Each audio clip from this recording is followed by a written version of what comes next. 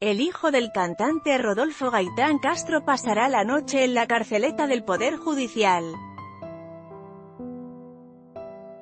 Los otros implicados están con comparecencia restringida. Piero Gaitán deberá cumplir los nueve meses de prisión preventiva que le ordenó el Poder Judicial por la violación de una joven de 23 años en Miraflores, América TV. Piero Rodolfo Gaitán García, hijo del cantante Rodolfo Gaitán Castro, fue internado en la carceleta del Poder Judicial, en donde esperará el traslado a un penal de Lima para cumplir los nueve meses de prisión preventiva que se le ordenó por la violación de una joven de 23 años en Miraflores. Gaitán García, 23, pasará la noche en la carceleta mientras una junta del Instituto Nacional Penitenciario, IP, evaluará en qué penal será internado. El presunto responsable del delito de violación salió de la sede de la Fiscalía al promediar las 4.00 pm. Ahí lo esperaba un gran número de familiares, entre ellos sus padres, ellos mostraron carteles en donde pedían su libertad y defendían la inocencia del joven.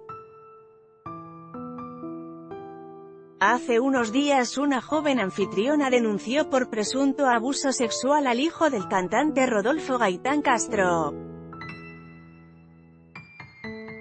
Además implicó a Diego Mateo Núñez Pérez, y el actor de VBQ, Javier Dulzaides, los hechos habrían ocurrido en una casa en el distrito de Miraflores.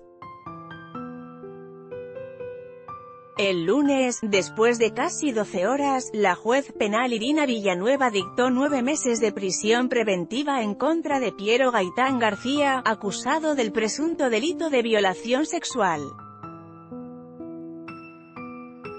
En tanto, la magistrada decidió que Diego Núñez y Javier Dulzaides afronten el proceso en libertad.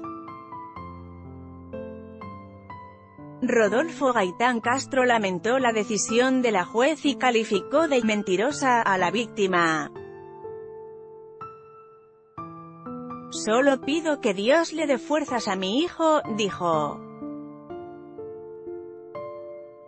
La denuncia Según la denuncia de la joven, Dulzaides, hijo de los actores Javier Dulzaides y Mariloli López, invitó a la joven la noche del miércoles al departamento de Núñez, donde también estaba Gaitani. Después de tomar unos tragos perdí el conocimiento y al despertar estaba completamente desnuda, y uno de los tres no precisó el nombre en su denuncia, se encontraba encima suyo. América TV, en ese momento, ella le mordió el labio hasta hacerlo sangrar, mientras que los otros dos acompañantes estaban en la misma habitación, a su costado, de acuerdo a la denuncia policial. La joven se cambió y le habría pedido a Dulzaides dinero para regresar a su casa. Ella trabajaría como anfitriona y habría conocido a los tres jóvenes esta misma noche.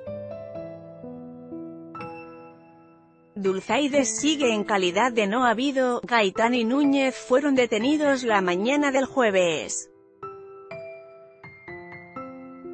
En su manifestación a la policía, Núñez refirió que Gaitán fue quien tuvo intimidad con la joven.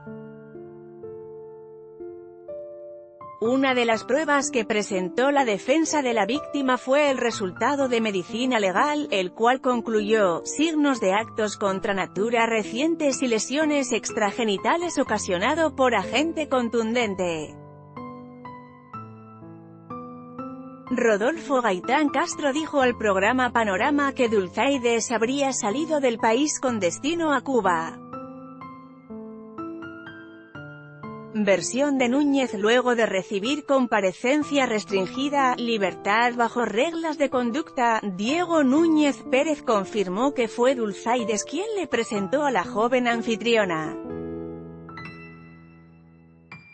Según contó, jugaron, verdad y castigo, con alcohol, pero no pudo explicar qué tipos de castigo recibían los participantes. Asimismo, confirmó que Piero Gaitán García subió a su cuarto con la joven. No obstante, dice que fueron cinco minutos, hasta que la anfitriona salió ofuscada. En las cámaras de seguridad de Miraflores se observa a Núñez seguirla y discutir con ella en la calle.